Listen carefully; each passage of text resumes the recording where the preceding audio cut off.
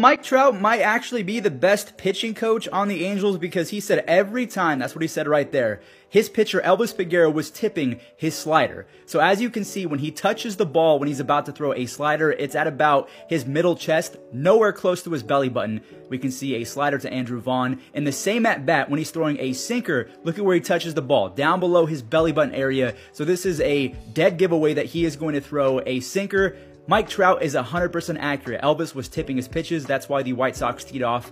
What was the Angels pitching coach doing? Mike Trout could see it from center field.